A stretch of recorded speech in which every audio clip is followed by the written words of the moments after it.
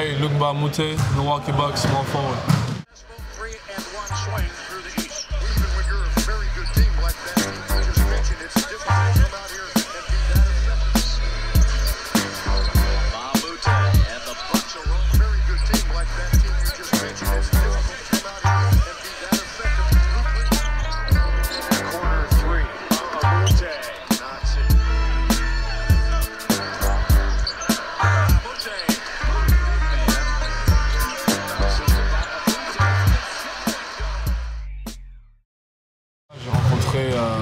Mathias à, à Los Angeles à- l'année dernière. Euh, je crois qu'il y avait son fils qui jouait à la Didas Nation. Et on a discuté, il m'a parlé de sa structure ici à Mont-de-la-Vallée. Et j'avais dit ouais pourquoi pas comme ça en passant, je savais jamais que j'allais avoir le, temps euh, la disponibilité de venir ici à Mont-de-la-Vallée et voir le truc.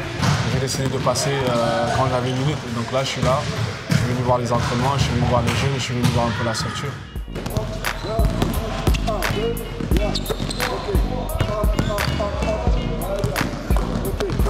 Déjà, je pense que la réputation de Mathias et ce qu'il a fait avec les jeunes qu'il a formés déjà, c'est énorme.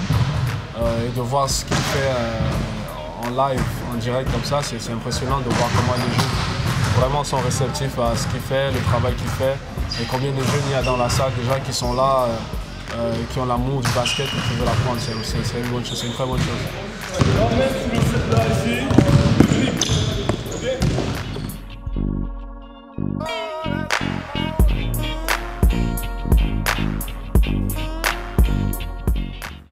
J'étais assis là, ça me rappelait, ça m'a envoyé très loin quand j'avais commencé à jouer, quand j'avais vos âges et tout. Et en fait, je me suis rendu compte que c'était euh, que Mathias, il arrêtait l'entraînement à chaque fois.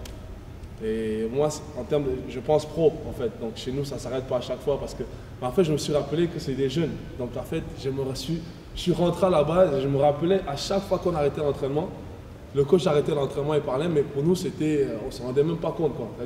C'était, ça l'entraînement. C'est à chaque fois, on arrête, on corrige, on vous apprend. À chaque fois, on arrête, on corrige, on apprend. C'était ça l'entraînement. Et donc, ça m'a fait réaliser euh, combien de fois ça, les années ont passé déjà, combien de fois j'ai grandi et, quel amour, quel plaisir ça fait de, voir comment vous êtes euh, au début du basket. Ça, c'est les meilleurs moments du basket.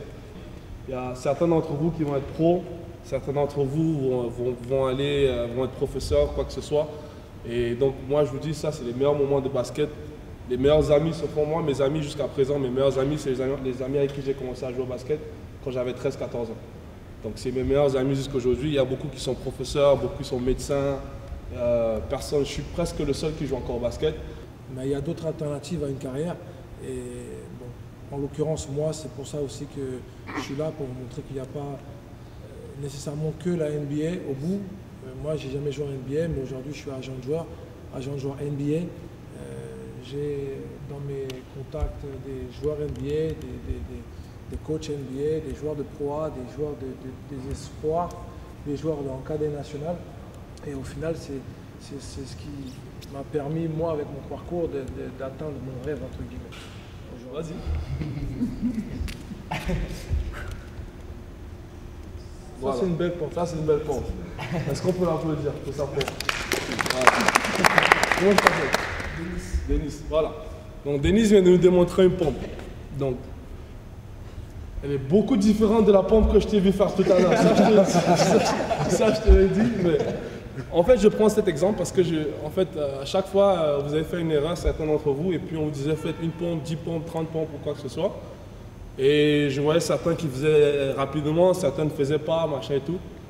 Et moi, ça m'a beaucoup touché. Parce que les, mauvaises habitudes, c'est dès cet âge qu'on les crée.